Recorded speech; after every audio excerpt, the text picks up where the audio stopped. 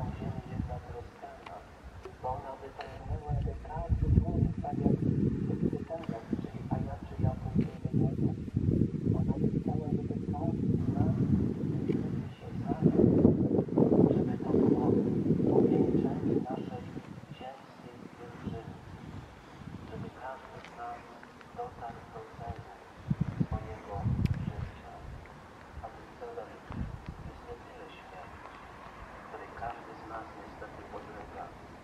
właśnie chwała nieba, która dla nas jest.